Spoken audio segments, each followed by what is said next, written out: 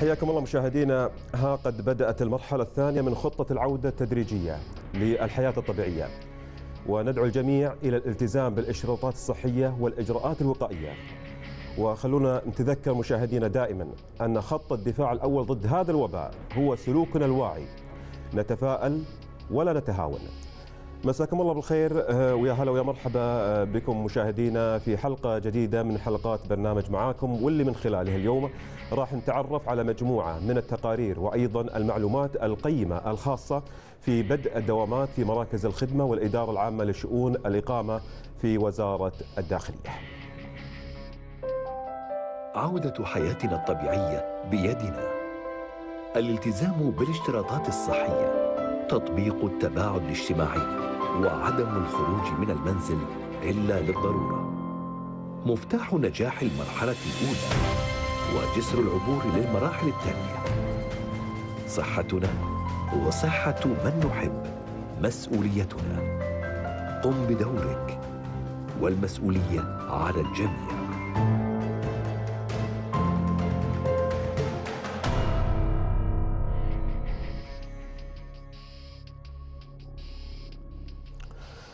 رجعنا لكم من جديد ومع أول فقرات حلقتنا لهذا اليوم واللي راح آه، تكون عن موضوع مهم وكثير منا. مشاهدينا يتساءل كيف يتم حجز موعد مسبق لمراكز الخدمة والإدارة العامة لشؤون الإقامة؟ في آه، وزارة الداخلية. إذا آه، مشاهدينا مجموعة من الأسئلة والمواضيع راح نتكلم فيها من خلال لقائنا مع ضيفنا اليوم عبر الهاتف العقيد ناصر أبو صليب مدير الإعلام الأمني في وزارة الداخلية والحديث عن الحجوزات المسبقة لإنجاز المعاملات في وزارة الداخلية. ولكن مشاهدينا قبل أن نأخذ هذا الاتصال خلونا نتابع التقرير اللي عده فريق البرنامج واللي سلط الضوء على آلية التنظيم وأيضا التكنولوجيا في مراكز الخدمة في وزارة الداخلية لنشاهده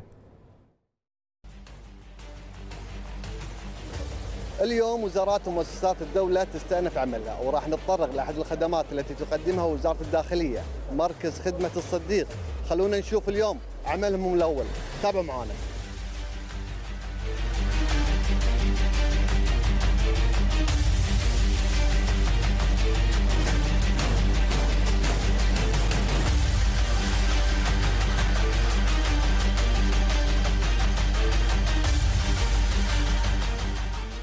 الأعداد كانت آه، خلال الساعة الواحدة نستقبل 20 مراجع.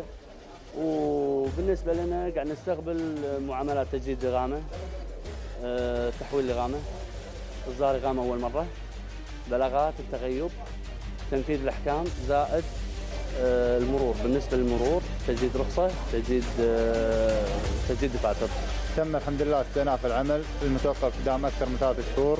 بسبب الأوضاع التي مرت بها البلاد وباشرنا العمل الحمد لله اليوم ضمن آه، خطة آه، إعادة الحياة آه، من مجلس الوزراء. طبيعة العمل أن تكون نسبة تشغيلية 30% في الفترة الثانية حيث استقبال المراجعين عن طريق الباركود عن طريق المنصة الإعلامية في وزارة الداخلية. ما يدخل المراجع إلا عبر الكود المخصص قبل في الخدمات الإلكترونية في وزارة الداخلية. أيضا تشيك على الكودة. بعد ذلك نتأكد من حرارة المراجع. وينتظر لحين آه، تقديمه للموظف طبعا اليوم الحمد لله يعني كل مراجع داخل لابس الكمام ولابس آه، الجلافز. والامور طيبة. وطبعا قاعد يدخل قاعد يقيس حرارته. الأمور طيبة. طبعا الدوام كان قبل يبتدي من الثمان للوحدة ونص. اليوم قام يبتدي من التسع للوحدة. يعني الفرق طبعا بس إنه يقلص عدد الساعات عندنا واحد اليوم من امامنا الله يطول بعمره أصر إنه يطلع اليوم معانا في الشاشة. وحاب يقول كلمة. عمي شنو كلمتي كلمتي إني أشكر أول شيء وزارة الداخلية على جهدهم ويانا. ما قصروا ويانا خافوا علينا. قبل لا يسوون لنا إجراءاتنا. إجراءاتنا مشت مثل ما هي بس المشكلة السيستم. هو اللي يأخر المواطنين اللي داخل مو وزارة الداخلية. اللي تأخر عندنا هو السيستم.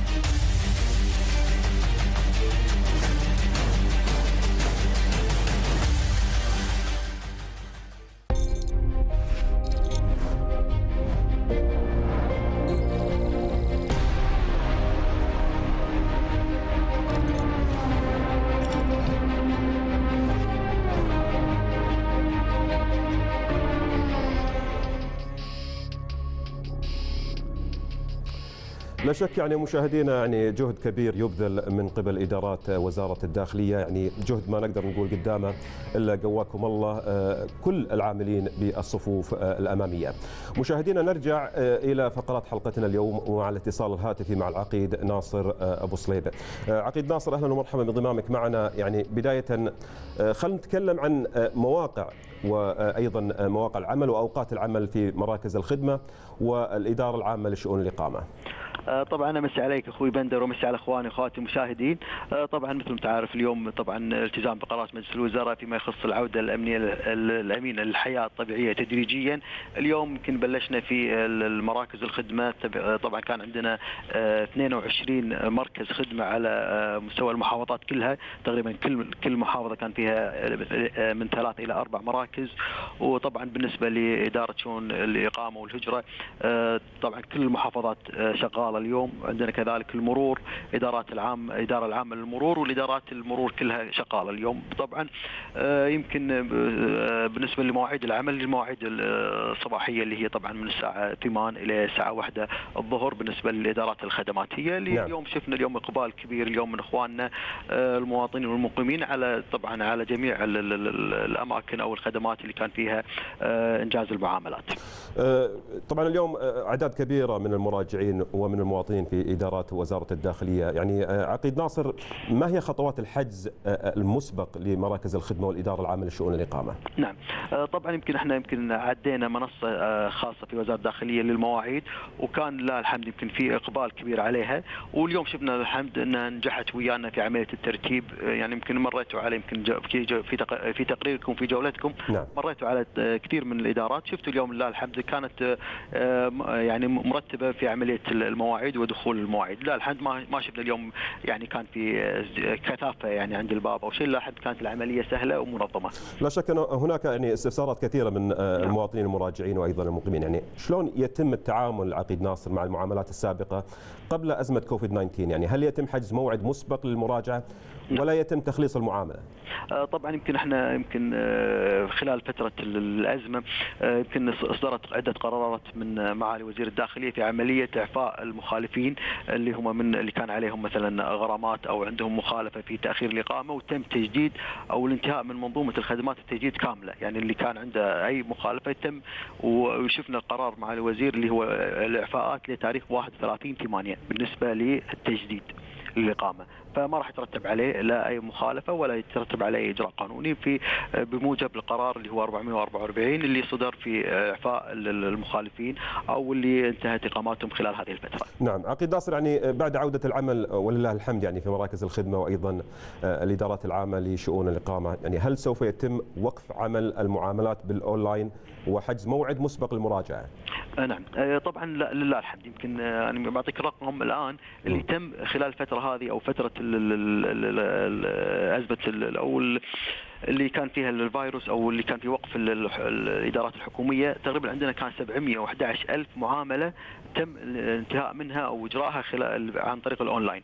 فهذا يشجعنا أن نستمر في هذه الخدمات. يمكن حتى يوم شفنا يمكن اليوم الإقبال على المراكز الخدمة أو على الهجرة أو على المرور. ما كان اللي كثافة كبيرة. بسبب شنو؟ بسبب إنك أنت المخالفات أو المعاملات تم إنجاز أكثر من 711 ألف آه، فهذا خفف علينا حتى الضغط في الإدارات اليوم. وشفناه يعني جربناها اليوم في كثير من الإدارات الخدماتية. وبالعكس هذه راح تطور. يعني اليوم كان في لقاء مع الوزير في عملية تطوير المنظومة اللي هي خاصة في الخدمات الإلكترونية اللي تتقدم لإخواننا المواطنين والمقيمين. عقيد ناصر يعني كلمة توجهها إلى المراجعين يعني من المواطنين وأيضا آه، المقيمين آه، في إدارات وزارة الداخلية. نعم، طبعا يمكن أحب أشكرهم، اليوم لا الحمد لله كان عندنا جولة اليوم شفنا على أكثر الإدارات آه، التزام كبير في ارتداء الاشتراطات الصحية من كمام، كان في لا الحمد حتى تباعد التباعد كان موجود، فنتمنى إن شاء الله يعني يعني من زيادة هذا الالتزام، يعني هذا كله يصب في مصلحتهم. العقيد ناصر أبو صليب مدير الإعلام الأمني في وزارة الداخليه شكرا آه، جزيلا لك وأيضا الشكر موصول آه، لجميع منتسبي آه، وزارة الداخلية. شكرا جزيلا لك. اذا مشاهدينا يعني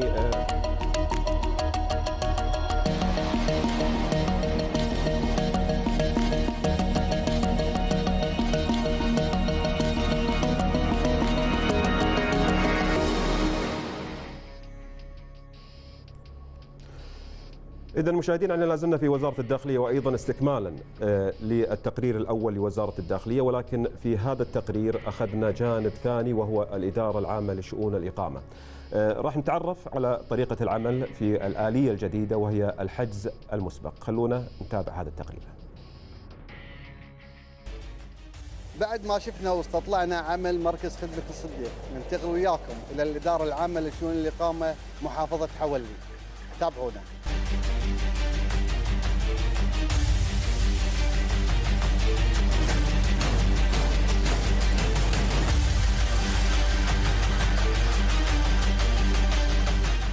والله إحنا استقبلنا عدد لا بأس فيه. النظام اليا يفتح كل ما يعني آه، صار في مجال آه، لل- للإدارة أنها تستقبل أو يعني آه، يفتح لهم النظام تلقائيا. لكن إن اليوم الأول النظام كان بطيء يمكن نوعا ما ال- الطلبات. أنت عارف هذا نظام ونظام حاسب آلي. فبالتالي الانتظار وصل إلى 35 ألف شخص ينتظرون ال- النظام يعطيهم الدور. طبعا الانتظار هذا مو خاص في إدارة شؤون الإقامة. بسبب الباركود والحجز المسبق اللي يجي معاه رقم الرقم معاه تاريخ ال- ال- ال- الموعد وساعة الموعد. على نفس الموعد يجي على نفس اليوم على نفس الساعة. يدش داخل ونستقبله بعد ما نأخذ عليه الاحتياطات والشروط الصحية اللي هي بلغتك عنها الكمام والقفاز وقياس الحرارة فكانت الأمور ماشية بفضل رب العالمين. أثناء ال- ال- ال- التوقف شؤون الإدارة العامة لشؤون الإقامة أكثر المراجعين استخدموا الأونلاين وأنجزوا معاملاتهم عن طريق الأونلاين. كانت أعداد كبيرة جدا أنجزوها عن طريق الأونلاين.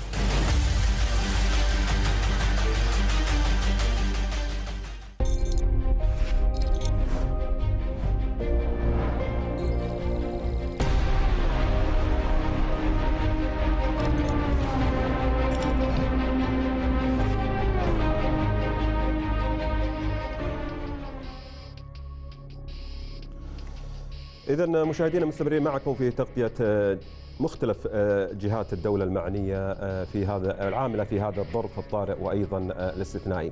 من وزارة الداخلية إلى بلدية الكويت وأنتقل معكم مشاهدينا إلى تقرير أعده فريق البرنامج والخاص عن جولة مدير بلدية الكويت السيد أحمد المنفوحي اللي تزامنت مع بداية العودة للمرحلة الثانية والعودة التدريجية للحياة الحالية.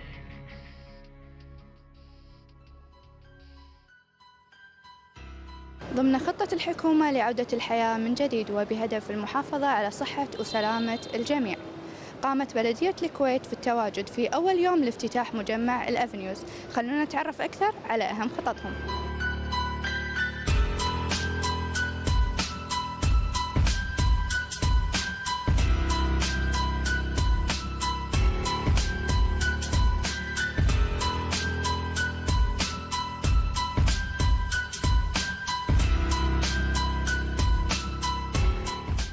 وهدفها أن آه، التزام الجهات المعنية سواء المجمعات التجارية أو أصحاب آه، المحلات الاشتراطات الصحية اللي حددتها وزارة الصحة وصدر فيها قرار مجلس وزراء إحنا اليوم آه، قاعد نشوف سعادة الناس أمانة في افتتاح المجمعات التجارية ولكن هي هو يعني تفاؤل بحذر. نريد أن نتجه يعني هو مرحلة من مراحل هي العودة الحياة إلى الآن. قاعد نشوف سعادة الناس وقاعد نشوف فرحهم. ولكن نبي بحذر. يعني آه، آه، نتمنى من يأتي المجمع يعني عنده هدف. إذا مو ضروري يعني آه، آه، الذهاب إلى هذا المجمع أجل الذهاب. يعني إحنا إلى الآن لم نصل إلى المرحلة الطبيعية لعودة الحياة. هناك مدن فتحت وانتكست وعادت إلى الحظر الشامل. نتمنى إحنا لا إن شاء الله نتقدم.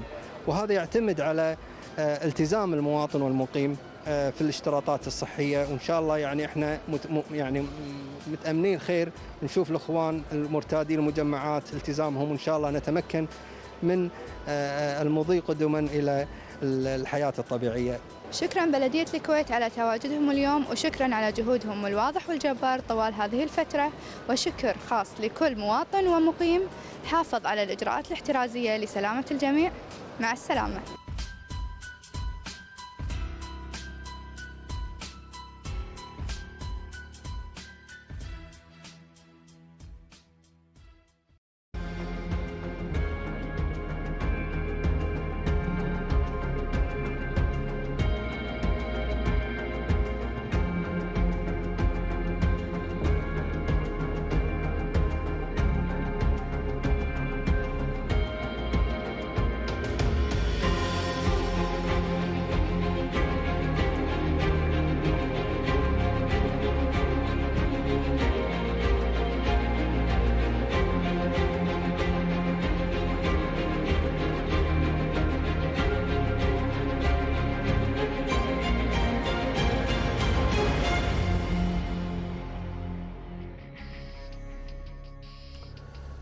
إذا مشاهدينا بعد ما شفنا معاكم هذا التقرير نكون وصلنا إلى نهاية حلقتنا لهذا اليوم ومع رسالتنا الختامية لكم دائما.